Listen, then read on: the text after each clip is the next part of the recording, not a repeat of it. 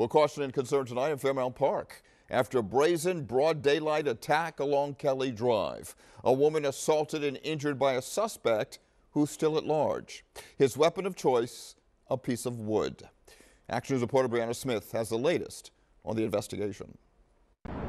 Philadelphia police believe the suspect is in his 30s and they're still searching for him after he ran away from the scene. Meanwhile, we spoke to visitors on Kelly Drive today and they say they've always felt safe, but after this attack, they'll be more vigilant. Peaceful, pretty, and packed with people. That's how visitors describe Philadelphia's Kelly Drive.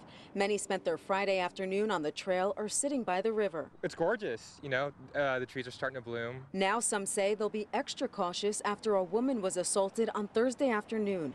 Philadelphia police say a 29-year-old woman was approached by a man at Kelly Drive and Fountain Green Drive around 5:15. Detectives say the man asked for a lighter and then hit her in the face with a piece of wood.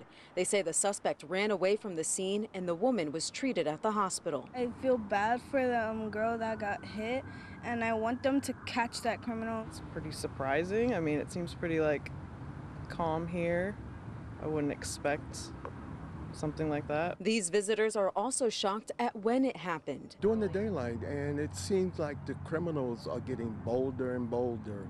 And so we have to look out for each other. And they would like to see more security. I just pray that there are more police uh, per- patrol in this area to make sure like something like that doesn't happen. I'm hoping for a better Philadelphia and less violence. Again, Philadelphia police believe the suspect is in his 30s and he was wearing a brown and green coat and a brown beanie at the time. If you have any information about the incident or the suspect, contact police. Reporting outside police headquarters, Brianna Smith, Channel 6 Action News.